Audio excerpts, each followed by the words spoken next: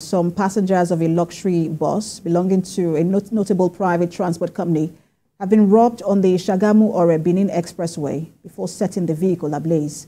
It was reported that the passengers who were on their way to the eastern part of the country were ambushed around 2 a.m. and robbed at Ijebu Mushin area of the highway. In a video uploaded on X by social media influencer Chude Unamdi, the burnt 59-seater vehicle was shown with victims reporting that no casualty was recorded in the incident. The police public relations officer in Ogun State, Omolola Odutola, confirmed the incident and said the driver of the bus got notification of a robbery, but forced his way through before he was robbed in the area. She appealed to travelers not to embark on night journey travels for their safety.